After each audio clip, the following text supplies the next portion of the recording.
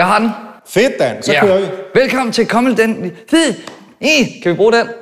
Mik Øendal, hvordan er det at gå fra de helt store scener til at stå bag kassen i en lille kiosk? Øh, jamen, det var jo... Altså, jeg ved ikke, det var, altså, det var en komedieserie. Det var Tom Altså en dokumentar, ikke? Nej, Dan, det er ikke dokumentar. Det er en tv-serie. Altså, der, ja, der er ikke, altså, jeg sælger ikke rigtig noget, kan man sige. I Nej, den går ikke så godt. Nej, Nej. nej. Men, altså, jo, jeg sælger noget, men, men du, det er ikke, altså, hvad kan man sige, jeg slår det ikke ind på kasseapparatet, og, og altså, det er jo, det er jo Så det er sådan skattesnyd? det er noget, det er noget, vi leger. Så. Altså, jeg så overhovedet ikke, han så der seriøs.